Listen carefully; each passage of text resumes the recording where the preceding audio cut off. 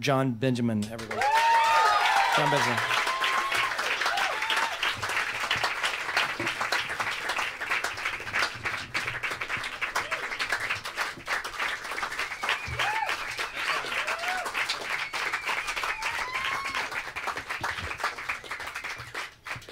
Thank you very much. Um, thank you, Bobby Tisdale.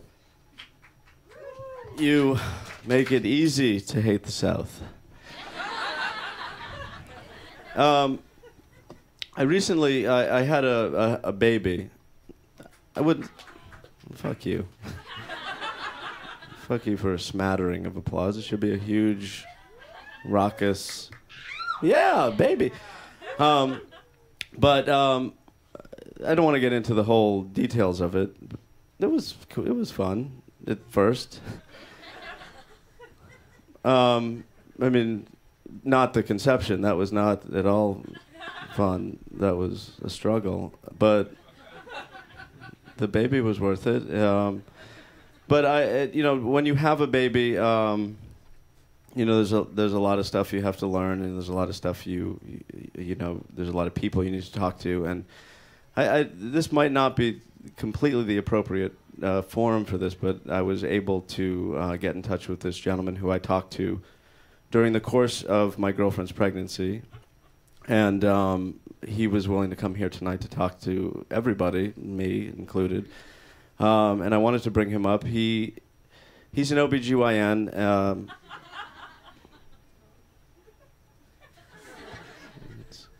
does everyone know what that is? Yes. Okay, cool.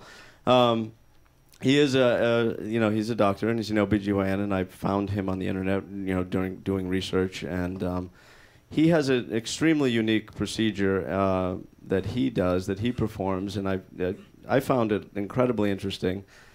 And uh, he, you know, he's willing to talk about it, and he's a professional, and he's uh, he's a doctor, and I, I want to bring him up. So, uh, ladies and gentlemen, Dr. Elliot Klaus, Dr. Elliot Klaus. Hey, doctor. How you doing? Thanks for coming. I appreciate. I, I guess you can use either one of these mics. Hello, check. All right. Do you- I've given uh, several lectures, so I'm. no, I'm sure you have. Do you want to uh, move your yeah, just for the Sure, sake sure. of the audience and the exit sign to for, Yes. To line yourself up. Doc, uh, thank you, Dr. Klaus. Thank you for coming. I, I know this is not probably the usual way you do lectures. No, this is a bit unorthodox. Come down uh, uh, to a to a club serving uh, food and alcohol and whatnot, and the the microphones and the kids and everything. But this is fine. I'm trying to reach uh, as many people as I possibly can, and uh, thanks for helping me do that and help you at the same time. Well, thank you, thank you right back. And, and no, and um, I'm glad you. I'm glad you do do this kind of stuff. That you will come to w- weird venues and Well, weird. it's, it's important to me. I, you know, I'm trying to get the word out there, and uh, certainly, you know, drumming up's a business. I I assume everybody here is of childbearing capability, um, uh, being a club and all, and uh, you may in the future. Uh, need my services, and I have cards with me. They're in a uh, over there by a right over there on a table, and uh, uh, Patricia is out there. She works in the office, and she'll be uh, able to take any of your information you brought your assistant with you. Absolutely, everywhere Okay. I go. Right. She's a doll. She's wonderful.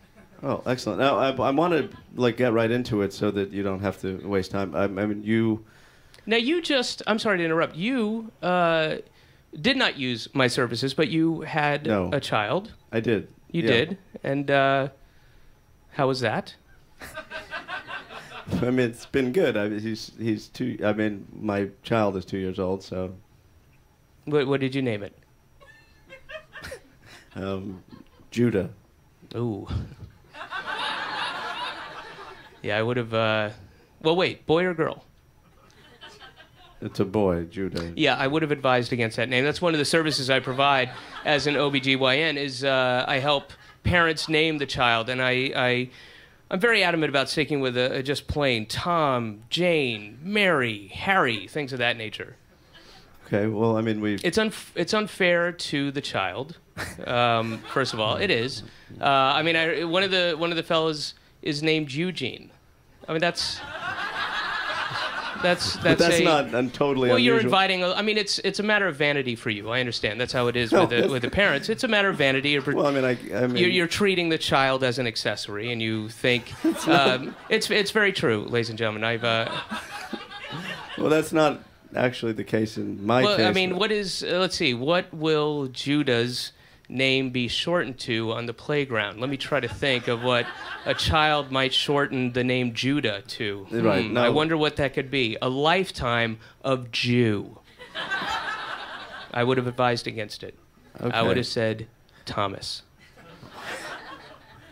Well, okay. That's neither here nor there. No, we didn't come to discuss that. That's a side service that I offer. Yeah, because I, I do want to talk about the the procedure which you do, which is extremely unique, and I I want you to get a chance to talk about that as opposed to make fun of my baby's name. No, I'm not. I'm not making fun. I'm saying what uh, what will he what you've exposed him to a lifetime to. I'm not making fun of him. I, if he was up here, I would never say that to his face. Right, well, he would he would probably not understand what you were saying because he's only two and he wouldn't understand that. But They know. They know. They know. Uh, the procedure which you're referring to is something that uh, is uh, somewhat controversial, uh, but you know. We live in a very uh, tenuous time morally, and what I'm doing is trying to progress things. And I, as you may have figured, I also will perform abortions if necessary, if the uh, parents so choose, if the woman choose. I believe in a woman's right to choose. You know, most things. Uh, certainly, when it comes to an abortion, she's should you be able to choose that. wait, so I'm sorry, you don't believe? I mean, do you think other in other areas that the woman does not have a right to choose certain things? Oh, absolutely. I'm on my second wife. Um, so uh, the point I'm making, though, is I the procedure I do is I will uh, perform a late term abortion, Right. like a lot of doctors won't. And this is what I uh, originally I read this on your site and and talked to you when I called your office about this. Mm-hmm, yeah. Yes, I will uh, perform an abortion up to three weeks after the baby is born.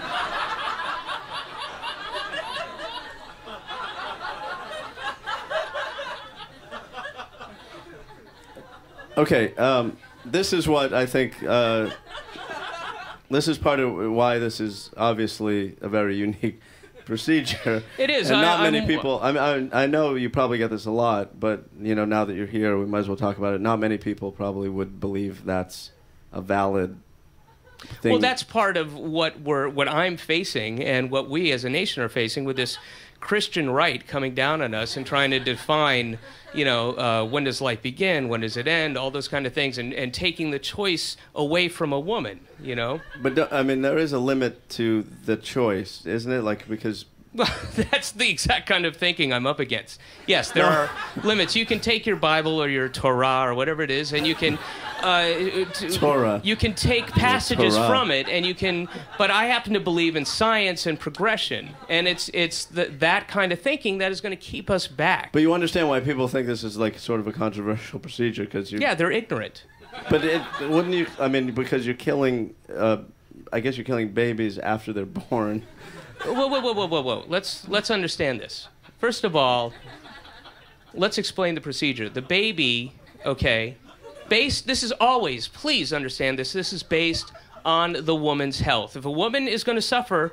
Her health is going to suffer because of this Well, procedure. I will not do it. I will not do it. How does the woman's You get health- half of your money back. You go home. Everyone's happy. How does the woman's health affect? I mean, I'm saying she's already had the baby. How is the woman's health apart? I mean, Well, because the procedure is is very uh, intricate, and we must reinsert the child. I'm not. You you don't think for one second I'm. I'm, pers- uh, uh, I, I- I'm don't performing know an how you- abortion on a, a a child that is outside of the womb. That's barbaric. That's disgusting. that's not what I. Well, I assume you disgust me. You Sir, disgust me, I and I would never ever do I such a don't- thing. The child, if the woman is capable, we perform an epidural. Okay, the child is reinserted. We then abort it. But don't you think it's It a little is- bit? it don't, is honest- a no, I'm sorry, Doug. Don't you think it's a tiny bit? I mean, isn't it like when does? Okay, according to law, like constitutional, the law of this of this Okay, land, of this country. constitutional law. Oh, Okay. What's so funny about that? What, It's just, I, I okay, I know what's coming. okay,